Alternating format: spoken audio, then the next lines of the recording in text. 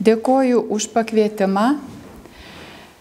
Džiaugiuosi ir didžiuojuosi galėdama stovėti čia ir ką nors iš savo tyrinėjimų pristatyti auditorijai. Negalėčiau čia stovėti ir negalėčiau šiandien šitaip kalbėti, jeigu didelę savo tyriamojo darbo dalį, savo tyriamojo darbo kelio dalį, nebūčiau ėjusi kartu su čia kukliai auditorijos gale sėdinčia gerbiama daktarė Birutė Triškaitė. Daugelis dalykų, kuriuos šiandien kalbėsiu, yra mūsų bendras darbas ir kai kurie darbai yra, kai kurie atradimai, labai svarbus atradimai yra padaryti būtent birutės. Na taip sukrito, kad šiandien kalbėsime apie Kristijoną Gotlibą Milkų, bet manau, kad Petras Milkus, kuriam savo gyvenimą arba didelę jo dalį paskyrė Birutė Triškaitė, bus pristatytas kada nors e, kitų, kitų kartų. Taigi dabar e, koncentruojuosi į savo darbo, į savo užsibriežtą temą ir bandysiu paaiškinti, kodėl taip provokatyviai, šiek tiek provokatyviai bandžiau formuluoti ir pranešimo temą.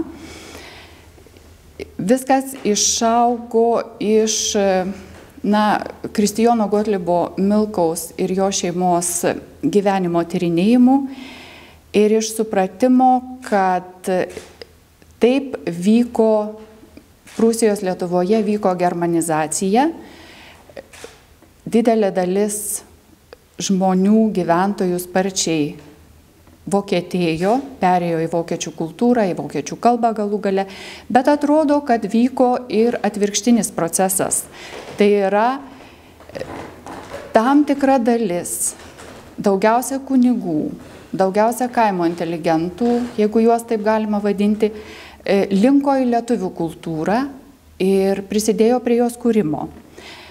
Šitą e, dalyką, be ne pirmas turbūt atkreipė dėmesį į šitą tendenciją šviesios atminties mokslininkas Leonas Geneitis e, parašė savo monografijose ir vienoje ir kitoje, kad, na, aiškiai matyti, kad kai kurios ateivių kunigų šeimos tiesiog įsigyveno Prūsijos Lietuvoje ir tapo ne tik krašto, bet dažnai ir kalbos, tai yra lietuvių kalbos patriotais ir raštijos kuriejais.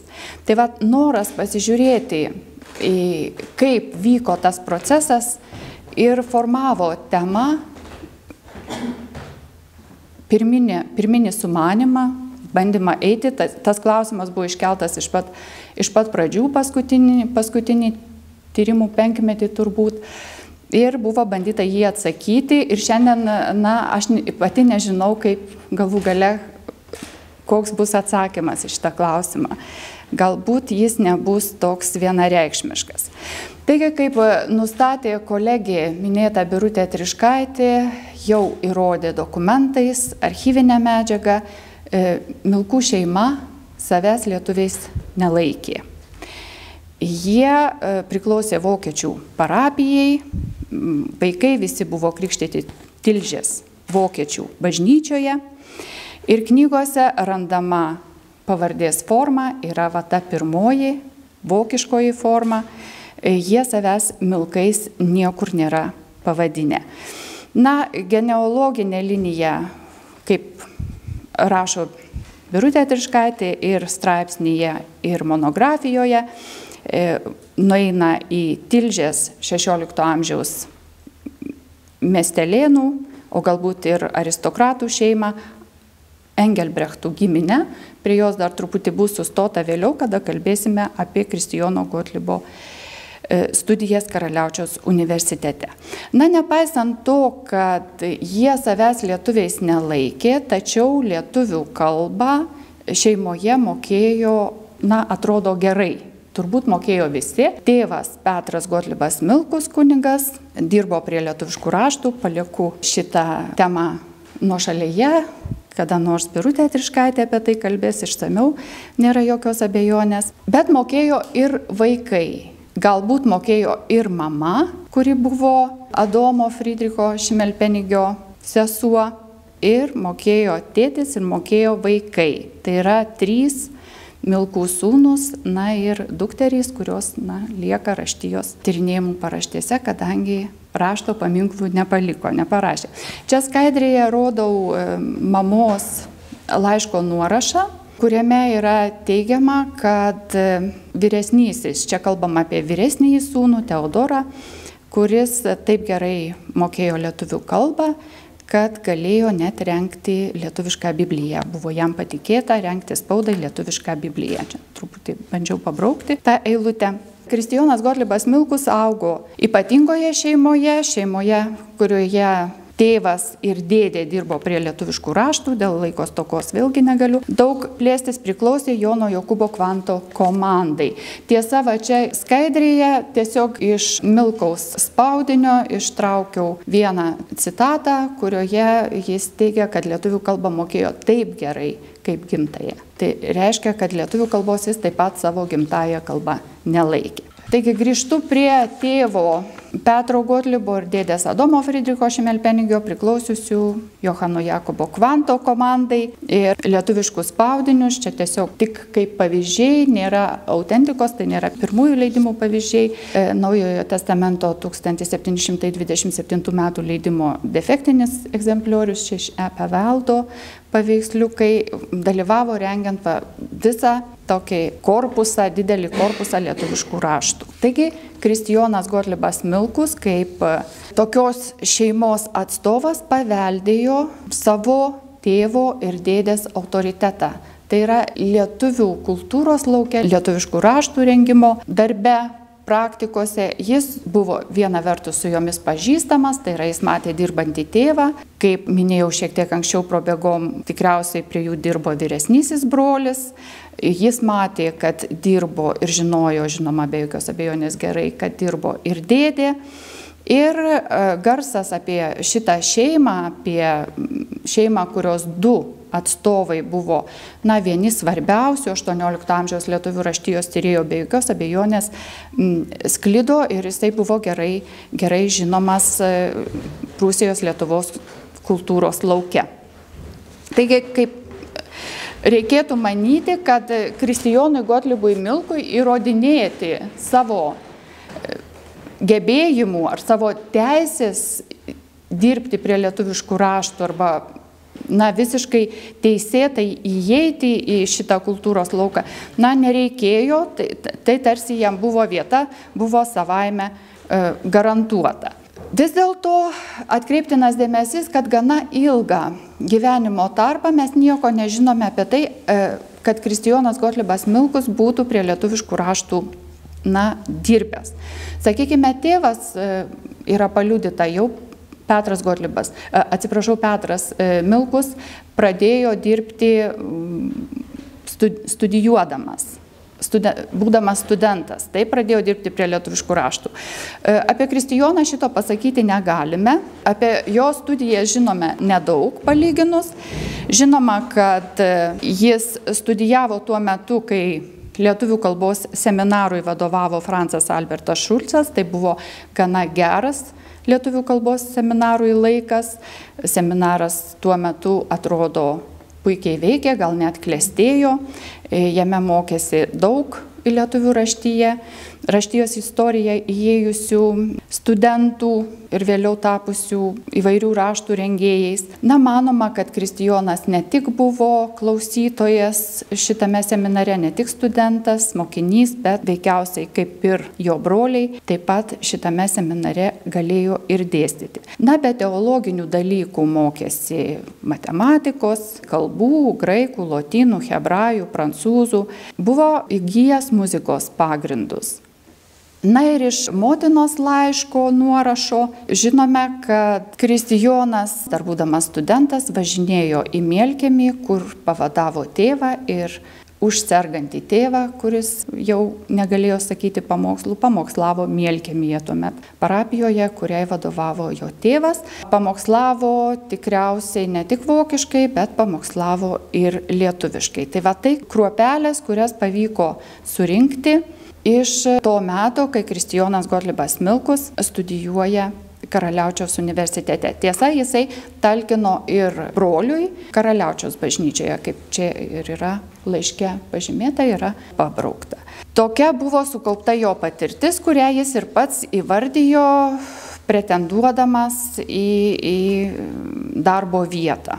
Nurodė, kad turi pamokslavimo patirties ir kad pamokslavo e, Lietuvoje, tai buvo parašyta, bet žinoma, tai yra Prūsijos Lietuva. Į Karaliaučiaus universitetą jis buvo matrikuliuotas 1751 metais, gegužės 15 dieną ir toliau mes jį jau sutinkame dokumentuose rastuose, kada skaitome skirimo į Pilkalnio parapiją bylą, kurioje Kristijonas Gotlibas Milkus įveikęs nemenka būri pretendentų gauna kantoriaus vietą 1760 1962 metų vasarą. Vėlgi Birutė Triškaitė e, rado dokumentus, parapijos bylas, kuriuose netgi tikslę dieną ir tikslę datą ir įvesdinimo aplinkybės aprašė ir perteikė ir, ir mums šiandien jau tai yra prieinama, jau yra žinoma labai tiksliai, kada jis buvo įvesdintas į Pilkainio bažnyčią. Paskirimas į šitą parapiją, čia yra skaidrėje 1729 m. Pilkainio planas, ranka brėžtas. Miestelis buvo mūsų akimi šiandien žiūrint nedidelis, bet parapija nebuvo prasta, matyt, nes pretendentų buvo daug ir reikalavimai buvo gana aukšti.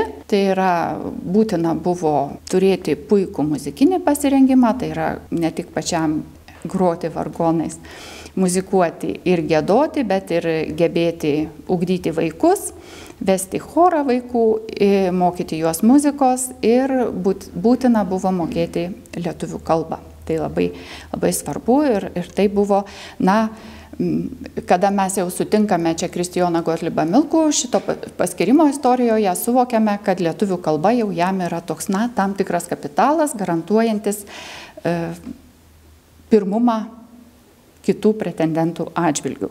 Taigi lietuvių kalba tiesiogiai kaip ir, na, nėra toks e, dalykas, iš kurio galima pelnytis, bet tai yra dalykas, kuris gali padėti gauti geresnę vietą. Tai buvo E, įprasta Prūsijos Lietuvoje ir Kristijonas Gotlibas Milkus atrodo e, šitą preferenciją taip pat pasinaudojo. Kristijono Gotlibą Milkų kaip raštijos dalyvį, lietuvių raštijos, lietuvių kultūros lauko dalyvį mes sutinkame tuo met, kai prasideda polemika su jo antrosios pusės gyvenimo ilgamečiu oponentu, Ostermejeriu, kurio išleistą gesminą 1781 metais Kristijonas Gorlibas sukritikuoja ir Ostermejeris, būdamas karšto temperamento ir aktyvus, ir matyt lengvai rašantis, rašo daug poleminių traktatų, poleminių raštų, jo yra išlikę gerokai daugiau ir spaudinių, ir rankraščių dabar atrastų, o Kristijono Gotlibo tik tas va pirmas, kurį buvau parodžiusi 1788 metais išėjęs, o va Ostermeirio čia dar ne visi poleminiai traktatai, kurie buvo išleisti, diskutuojant su Kristijonu Gotlibu Milkumi. Taigi, polemika tampa konkurenciniu akstinu, paskatinusiu Milku ir jo aplinkos kunigus pritarusius jo pozicijai įsitemti ir pasižiūrėti, kas darosi, kol jie nedaro nieko. Paprastai sakant, Ostermeiris ne tik išleido reformuotą gesmyną, Ostermeiris ruošiasi, išleido tiesą agendą, tai yra apeiginą e, Prūsijos Lietuvos e, evangelikų liuteronų bažnyčios, ruošiasi koreguoti ir išleisti pataisytą Bibliją, nes vertino lietuviškąją Bibliją labai prastai. Va čia aš tiesiog sudėjau skaidrės Ostermeirio atsiliepimą apie Bibliją ir Milkaus atsiliepimą apie Bibliją 1735-1755 metais išėjusių leidimų. Ostermeiris mano, kad tai yra labai prastas darbas ir prastas vertimas ir labai stipriai koreguotinas, o Milkui atrodo, kad tai yra pati geriausia lietuviška knyga, kokia iki tol buvo išėjusi. Na, žinoma, Kristijonas ginti šitą spaudinį galėjo ir kaip e, šeimos atstovas, kadangi prie 35 metų, 55 metų leidimo prisidėjo jo tėvas ir jo dėdė. Taigi nuomonės priešingos ir na, ilgą laiką šita polemika buvo vertinama kaip tokia labai subjektyvi, kilusi dėl to, kad Ostermejeris perredagavo Kristijono Gotlibo Milkaus tėvo Petro giesmes, nepagarbiai atsiliepė apie jo darbą ir jo talentą, bet iš tiesų, na, tie priešiškumo arba tie opozicijos veiksniai, jie buvo gilesni Veikiausiai tai buvo toks susidūrimas senųjų krašto gyventojų, kurių jau karta iš kartos dirbo prie lietuviškų raštų ir naujųjų ateivių, tokių kaip buvo Ostermeris, kuris lietuvių, kalbą, lietuvių kalbos pradėjo mokytis kilęs iš Lenkijos, pradėjo mokytis, atvykęs mokytis į Karaliaučiaus universitetą, lietuvių kalbos seminare, va čia dar vienas lietuvių kalbos seminaro nuopelnas toks ir tiesioginis, ir sikių netiesioginis, kadangi kūrė va, šiuo konkrečiu atveju Lietuvių kalbos seminaras ir jame e, padėtos, padėti lietuvių kalbos e, pagrindai Ostermerio atveju sudarė galimybę na, verštis į tą lietuvių kultūros lauką ir sėkiu kurti konkurencinę aplinką tiems e, vietos gyventojams, kurie mane, kad jiems jau, na, na tiesiog jie čia dirba ir jiems viskas priklauso ir jų yra, yra teisė e, pasitenkinti tuo, kas yra padaryta arba, na, tęsti, jeigu palankiai susiklostys, aplink, susiklostys aplinkybės, tęsti darbus toliau. Ostermejerio energija ir pasiryžimas ir žinoma talentas kurio be jokios abejonės būta, na, tapo tokiu mm, judinančių veiksnių, e, paskatinusių susisgripti ir milkų taip pat kaip ir galbūt keletą kitų aplink jį na, jam pritarusių asmenų. Taigi, e, Milkus, na, čia būtų tokia gal hipotezė, gal e, toks, e, na, įsitikinimas kilęs iš įsiskaitimo į tuos raštus. Milkus tarsi diskutuodamas iš naujo pervertina savo tą paveldėtą poziciją įgytą kalbą kurią jis mokėjo iš mažumės ir kurią mokėjo gerai, ir, ir savo paties manimų jis mokėjo gerai šitą kalbą, ir aiškiai turėjo filologinių palinkimų, filologinį talentą, bet niekur jo nerealiz, ne, na, nebuvo realizavęs. Ta buvo truputį daręs vertės giesmių tarsi, bet jos niekur nebuvo skeltos. Mm, vertės Gelerto pasakėčių atrodo, bet irgi iki polemikos su Osterimejeriu nieko nebuvo pasiryšta, bent jau nebuvo pasiryšta paskelbti, arba mes to iki šiol nežinome, galbūt kas nors atsiras dar. Taigi, ta kita kalba, kurią atsinešė Ostermejeris, kur jis buvo išmokęs lietuvių kalbos ir Milkus koks jis bebūtų buvęs šališkas tuose trakta, e, poleminėme traktate ir polemikos metu, jis niekada nesakė, kad Ostermeiris nemoka lietuvių kalbos. Jis tik tai sakė, kad Ostermeiris nepakankamai moka kalbą arba neturi kalbos jausmo. Na ir čia tikriausiai Milkus buvo teisus, bet sikiu ir labai gudrus, nes jis rėmėsi tik tai, na, autoritetas šitoje polemikoje galėjo tapti Milkos manimu tik tai tie žmonės galėjo prisimti sprendimo teisę, kurie patys gerai moka lietuvių kalbą. Tai yra vietos, vietos kunigai, vietos gyventojai.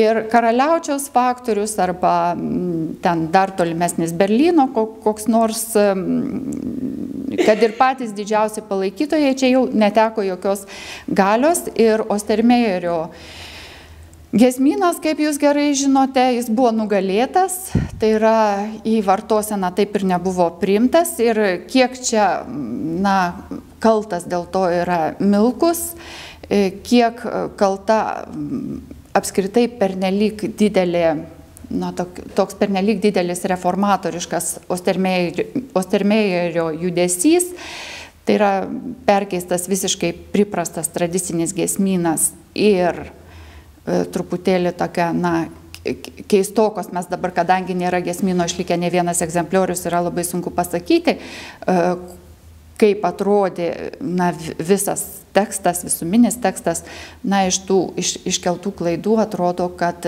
tikrai kai kas galėjo kelti, na, ir pasipiktinimą, ir juoką galbūt lietuvininkų, kadangi kalba kalba buvo tokia, na, kitokia. Ir va tas priešinimasis kalbai taip pat polemikoje iškyla, va tai kitai, svetimai kalbai, iškyla tokiu pat, na, maždaug lygmenių, tokiu pat segmentu, kaip priešinimasis ir, na, apskritai e, ateiviui, kuris, na, gviešiasi vietos, kuri tarsi jam ir nepriklauso. Išėjimas į e, jau lietuviškų raštų rengimo tiesėje į, į, į tą platų kelią, kada e, išleista iš tikrųjų labai daug, Milkus yra pats produktyviausias 18 amžiaus pabaigos, sakau pabaigos, nors dalis jo e, spaudinių išėjo 19 e, amžiaus pradžioje, bet vis tiek visi jie buvo parengti 18 amžiaus pabaigoje, būtent va,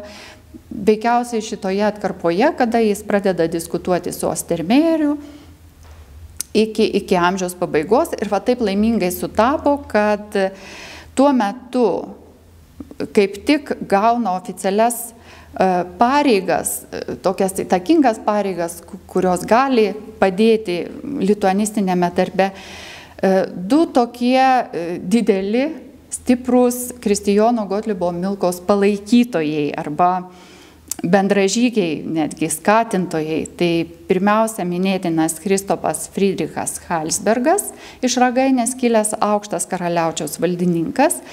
Na ir Kristijono Gotlibo brolis Danielius Friedrichas Milkus, kuris tampa Ragainės bažnytinės apskrities mokyklų inspektoriumi.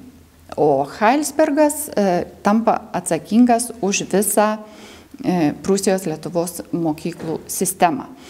Ir Heilsbergas pats turėjęs tokių regioninio patriotizmo idėjų, siekęs apriboti e, ateivių iš, iš Berlyno skverbimas į, į, į kraštą ir užėmimą tam tikrų aukštų pozicijų, jis labai skatino, atrodo labai skatino Milkų E, leisti lietuviškus raštus ir pirmiausia įdomu, kad ne tik religinius, bet va, čia aš iškėliau jos labai juodos, bet aš nieko negalėjau padaryti, tiesiog toks yra ir pats originalas ant tokio tamsiai mėlyno žalsvo popieriaus, labai neryškiai išspausdinta. Čia yra pirmoji žinia, kad Kristijono Gotlibo Milkaus žodynas jau yra parengtas.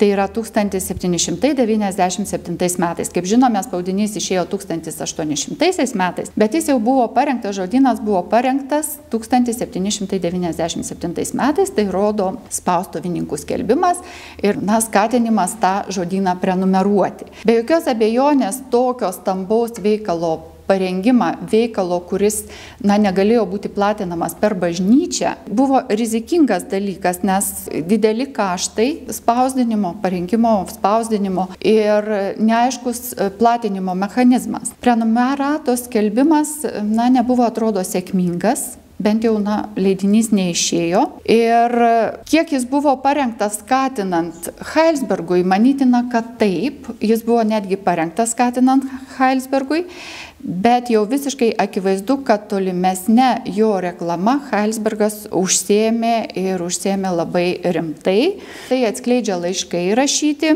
paties Kristijono ir jo brolio Heilsbergui iš, išlikusi susirašinėjimas, kurį pavyko aptikti. Na ir šitame va, konkrečiai laiško atkarpoje, čia yra Kristijono Gotlibo Milkaus rankraštis, mes matome, kad būtent Heilsbergas skatina Milkų pabaigti gramatiką ir veikiausiai spausdinti kartu su žodynu ir parašyti prakalbą. Tai yra, jis prašo, nu tarsi atsiprašo, kad dar to nėra padaręs, bet jis būtinai tą padarys ir, ir labai džiaugsis, jeigu ten ir iš karaliaučiaus aukštas valdininkas, jam karaliaučiaus universiteto profesorius Krausas dar padės e, pažiūrėti tą prakalbą. Taigi netgi patį Milkų skatina Heilsbergas, vėliau kalbėsiu dar apie prakalbas, į ką norėčiau atkreipti dėmesį, tokį labai asmenišką gal dalyką, bet na, mes matome iš šito laiško atkarpos, kad Milkus taip pat kaip ir mes dabar nieko nespėja, jis tuo pat metu rengia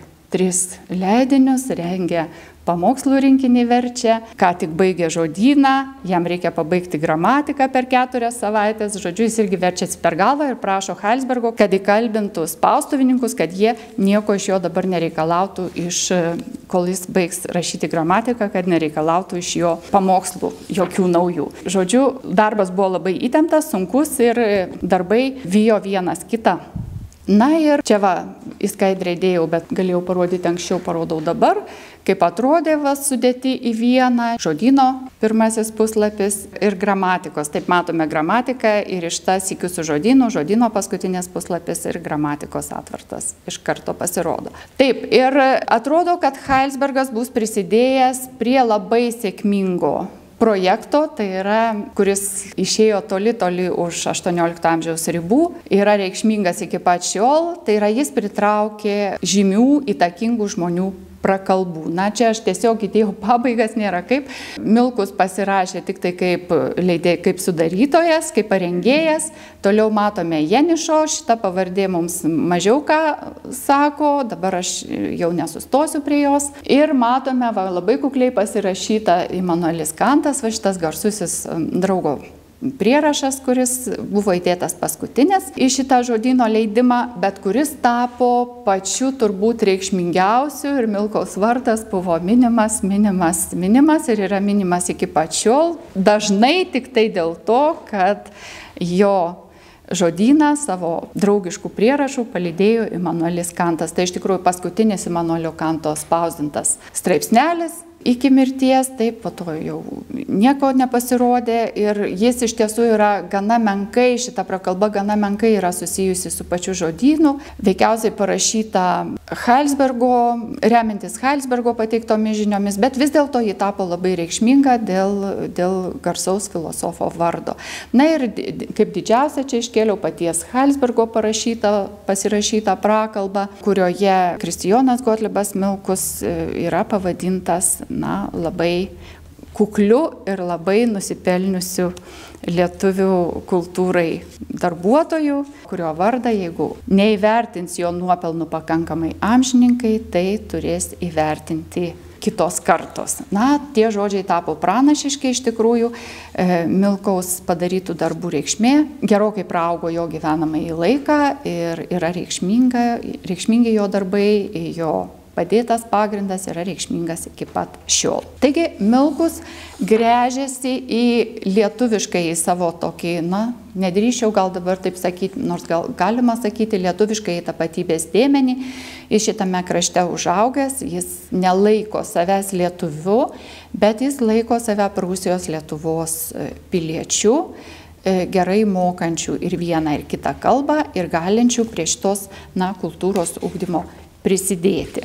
Jis neapsiriboja tik tai tokiais e, kalbiniais darbais, nors kalbiniai darbai taip pat tuo metu buvo nu, nemenkas proveržis negalėjęs ko gero įvykti be valdininkų palaikymo, be tokios stipresnės administracinės atramos, kurią tapo veikiausiai Heilsbergas. Bet jis sikiu, būdamas filologas, kuris verčia gesmes, bando savo patinius gebėjimus jau tuo metu ir Gelerto pasakėčias verčia, pats yra paliudėjęs, kad yra išvertęs daugiau, šiandien mes žinome, tikrai žinome, kad yra viena jo išversta pasakėčia ir paskelbta. Jisai kreipia dėmesį, čia labai smulkus šriftas ir turbūt na, neįmanoma yra skaityti, bet jis kreipia dėmesį į kūrybinės lietuvių kalbos galimybės.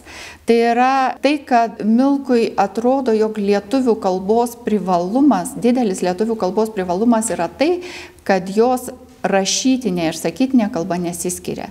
Tai yra poetas turi kurti taip, kad suprastų ir pats paprasčiausias valstietis. Tai yra ta gyva šnekamąją kalba. Ir tai jam netrodo, jis, na, čia mes jau turėtume kalbėti apie Herderio idėjų įtaką. Jam netrodo, kad dėl to lietuvių kalba yra na, lietuvių kalbos pozicija yra prastesnė. Ne, jis mano atvirkščiai, kad lietuvių kalbos pozicija čia yra geresnė negu, sakykime, vokiečių, nes kalba yra gyvesnė ir jie galima labai produktyviai, kūrybiškai dirbti. Sikiu, žinoma, Milkus neatmeta ir talento reikšmės, kad vis dėlto tas, kuris imasi kurti poeziją, jis turi turėti ir talentą.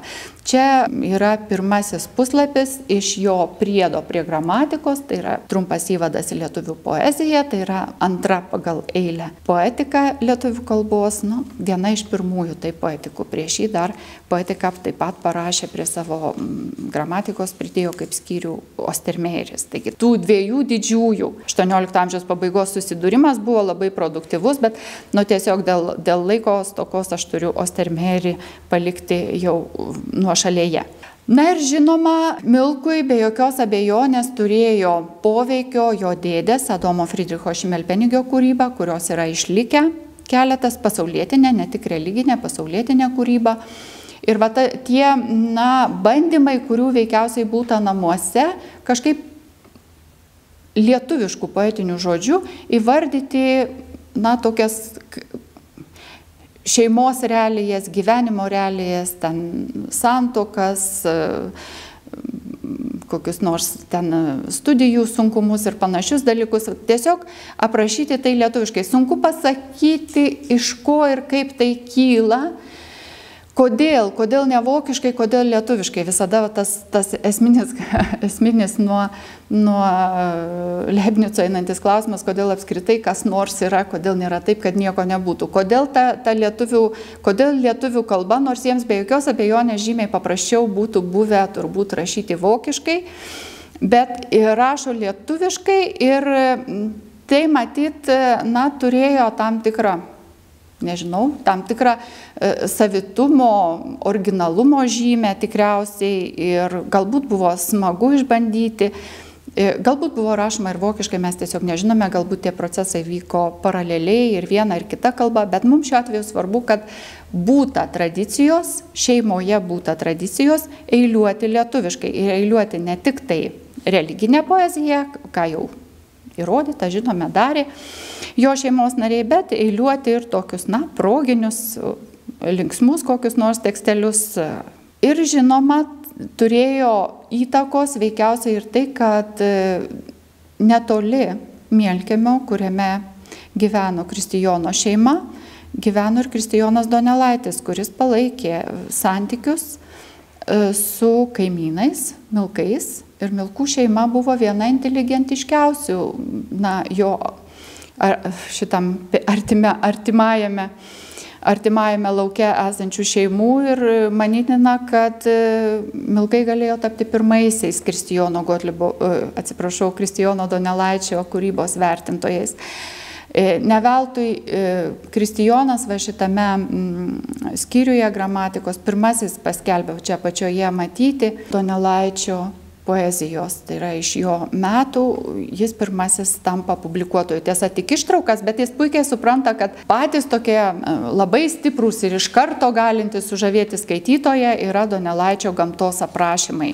Ir jis paima stipriausias dalis. Taigi, Kristijonas turėjo kurį laiką ir Kristijono Donelaičio rankraščius. Beje, dabar kaip tik tos dvi dalis, iš kurių Kristijonas Gotlibas Milkus paskelbė ištraukas, šitoje e, poetikoje kaip tik jų originalai ir yra kažkur prapuolę, nežinia, kaip ten yra atsitikę. Na ir ta kūrybinė aplinka ir bandymai, ir tokie lingvistiniai bandymai, taip, žodino parašymas, gramatikos parašymas, poetikos sukūrimas, jau būtos religinės poezijos kūryba, vertimai, Gelerto pasakėčių vertimai. Na, skatino veikiausiai ir patį Kristijoną imtis ne tik tai religinės, bet ir pasaulietinės kūrybos. Ir va šitas dėmuo, pradedant tyrimą, buvo man labiausiai intriguojantis, kodėl arba kaip jis priejo iki to, kad pradėjo rašyti lietuvišką poemą. Ir užbėgdama už akių savo pasakojimą aš turėčiau pasakyti, kad šiandien tokio labai aiškaus atsakymo aš neturiu, tarsi susidėlioja viskas labai gražiai.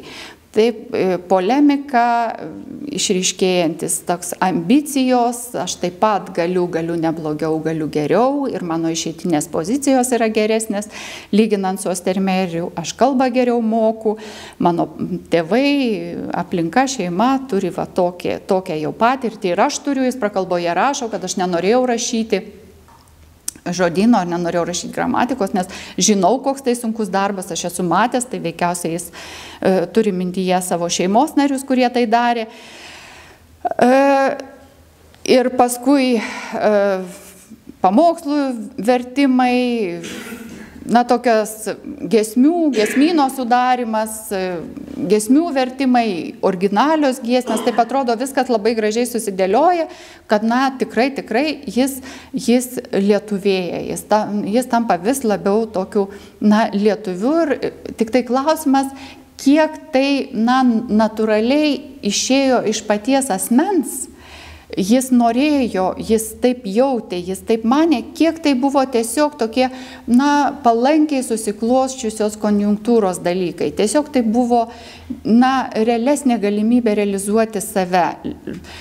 Tam tikrų požiūrių lengviau įsiveršti lietuvišką literatūrą, kuri tik prasideda, negu, sakykime, į vokišką, kuri jau turi šitokią tradiciją ir kuriai akivaizdžiai, na, nepakaktų jėgų ir nepakaktų talento. Va, čia, čia yra labai sunku atsakyti šitą klausimą, bet bet kokiu atveju Milku savo darbais, na, vis labiau ryškėja kaip toks e, Prūsijos Lietuvos, bent jau Prūsijos Lietuvos patriotas ir kalbos patriotas. Lietuvių kalbos, vietinės kalbos, valstiečių kalbos patriotas.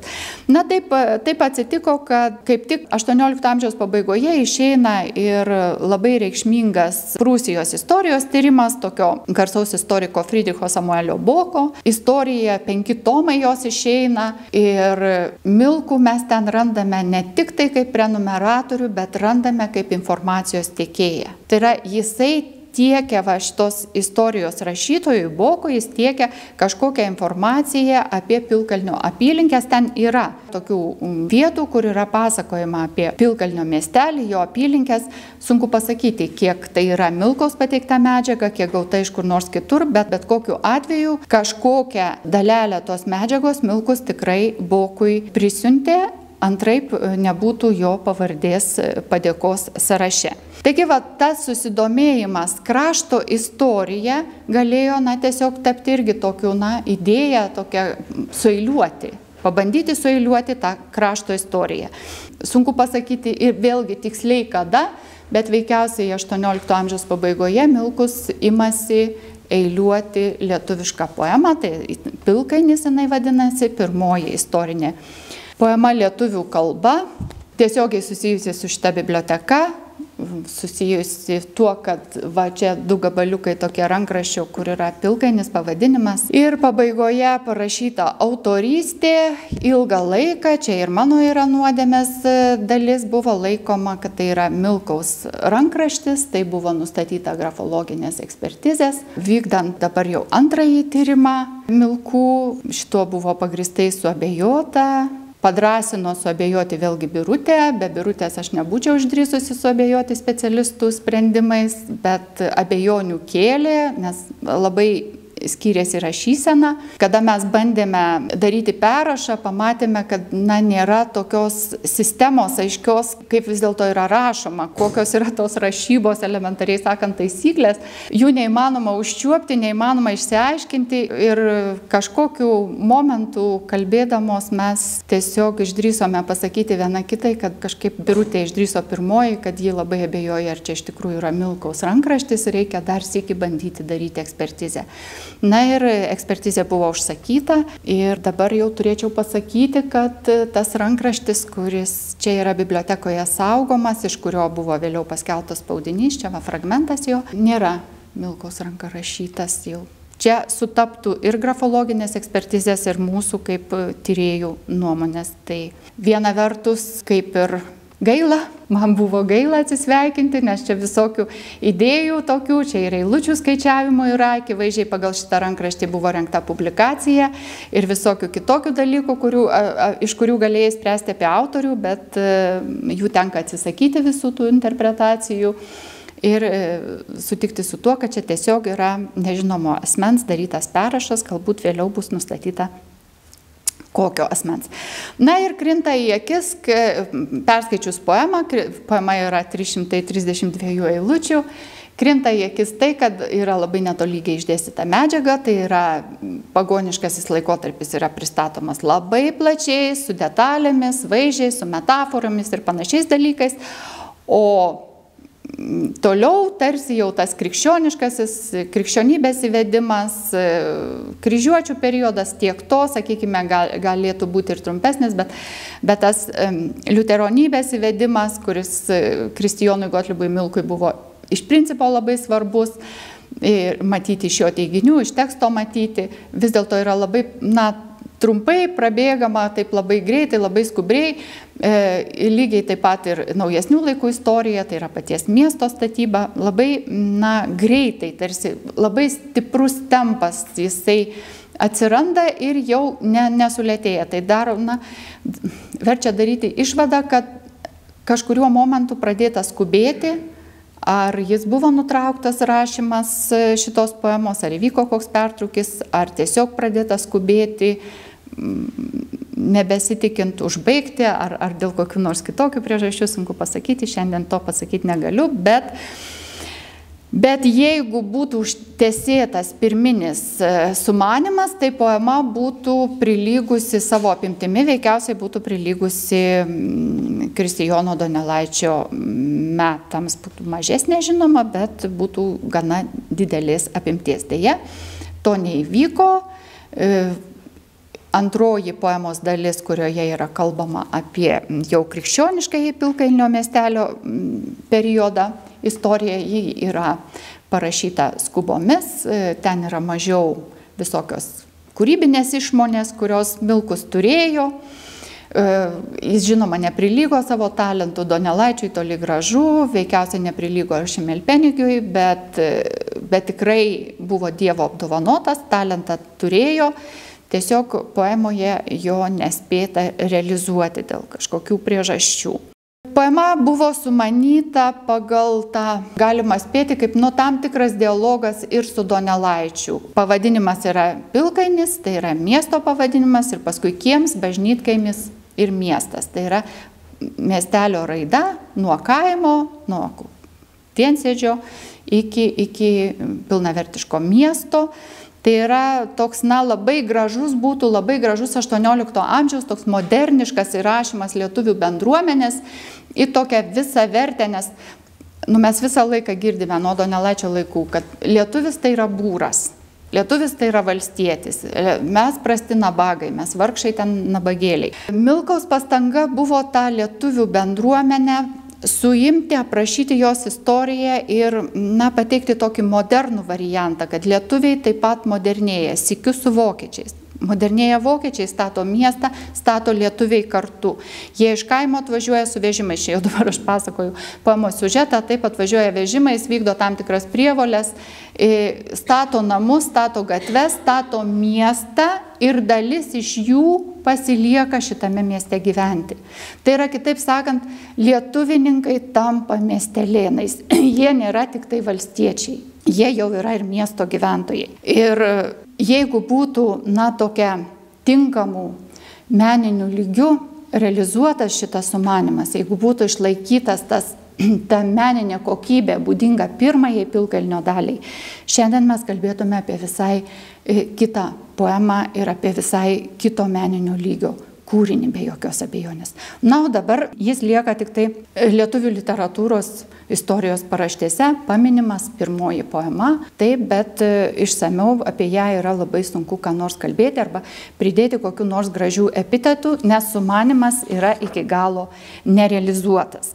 Sudėjus Milkaus gyvenimo kelią, Milkaus ne tiek nu, kaip asmens gyvenimo kelią, bet kaip kurėjo gyvenimo kelią, tai atrodo toks labai gražus įsigyvenimas į tą lietuvišką kultūrą, nes imti kurti meninį tekstą tą kalbą, šiuo atveju lietuvių kalba, tai reiškia kurti ir pačią kalbą, nes praplėsti pačios kalbos vartojimo galimybės, egzistavimo galimybės, tai yra įsilieti jau ne tik tapti tos kalbos vartotojų, bet tapti tos kalbos kuriejų, tos kalbos turtintojų. Ir Milkus puikiausiai šitą suvokė, tai matyti iš, iš jo dėmesio frazeologijai, kiek jis perėmė frazeologijos iš Brodovskio žodyno, kaip jis dėmesingai tai žiūrėjo, kiek jis perėmė frazeologijos iš Donelaičio kūrybos. Jam rūpėjo lietuvių kalbos kūrybos galimybės. Ir veikiausiai tai buvo taip pat ir tokia nekivaizdi diskusija su Jenišu, mano minėtų prakalbos rašytoju, kuris parašė labai gražią prakalbą, bet jis parašė kalbai, kuri tuoj, tuoj, tuoj numirė numirs. Jenišas kalbėjo tik apie tai, kad reikia, ta žodynas labai geras dalykas, nes reikia išsaugoti šitos kalbos faktus, nes ta kalba tuoj, tuoj, tuoj numirs. Ne šiandien, rytoj jinai jau numirs. Milkus ėmėsis kurti e, grožinį, pasaulietinį grožinį tekstą, tai yra jau, na, įsiliejęs į tą modernios istorijos srautą, jisai tarsi tvirtino, kad kalba turi gyvybės, kalba nemirs tie žmonės, kurie kalba tą kalbą, jie ją išsaugos ir jų kalba yra nemenkesnė, nemenkesnių kūrybinių galių negu vokiečių kalba.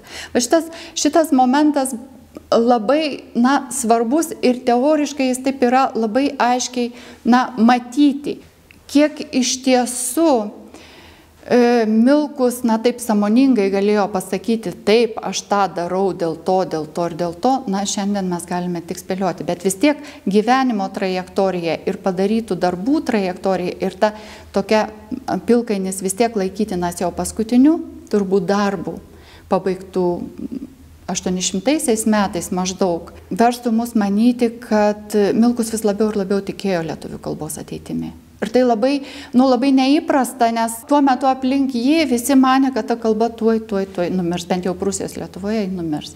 Milkus šitaip nemanė. Milkus savo gramatiką ir, ir žodyną jis adresavo ir didžiosios Lietuvos lietuviams.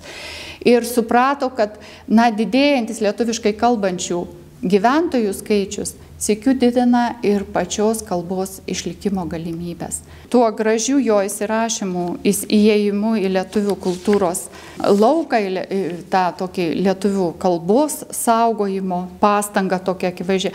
Gal šitą norėčiau ir pabaigti ir labai tik tai porą žodžių pasakyti, kad šiandien aš sakiau milkus milkus, birutė čia sėdi, neduos man sumeluoti, kad mes trečdalį savo tyriamojo laiko sugaišome mąstymams, o vis dėlto milkė ar milkus.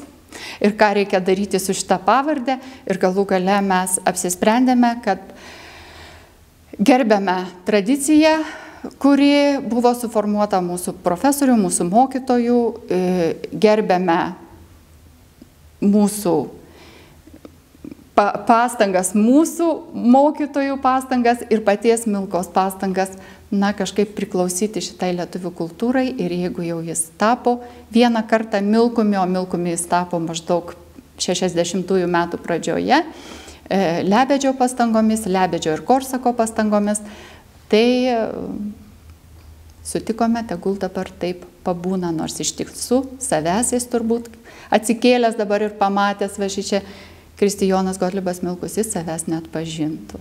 Bet mums jis brangus brangus kaip mūsų kultūros dalyvis. Taip, aš dar čia turėjau, va, čia yra iš protokolo, iš Lietuvių literatūros ir tautosakos instituto rankraštino. Yra va, ta tokia svarbi pataisa, vienintelis aiškus momentas, kada pavyko archyviniais dokumentais įrodyti, kada Lebedys pataiso prieš jį kalbėjusi kolega Sprindi, kuris sakė Milkė, Milkė viename posėdėje Čia yra lebedžio žodžiai perrašyti, ne jo rankraštis, bet sekretorės perrašyti ne milkė, o milkus. Ir reikia žiūrėti į probučių anūką. Na, čia jau kita, kitos istorijos dalis būtų. Bet va šitai pamažu apie 51 metus milkė tapo milkumi. Dėkoju uždėmesi.